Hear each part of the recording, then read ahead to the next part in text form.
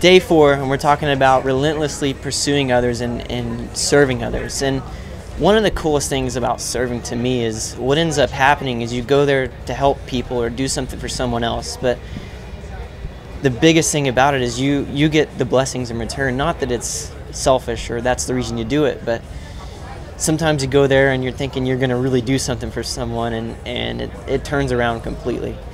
And I think that's an amazing thing about it is is uh, just seeing what good that does for for everyone as a whole. It's a really amazing thing, and, and thinking about you know when Jesus tells us that. Uh, the first and greatest commandment is to love the Lord our God with all our heart, our soul, and our mind, and um, to love each other as ourselves, and, and that's that's the biggest thing, you know, putting uh, yourself in, in whoever's situation and and uh, coming to them at their level and uh, meeting them where they're at. I think that's a big thing, and and it's going to be something that, that blesses you in the process.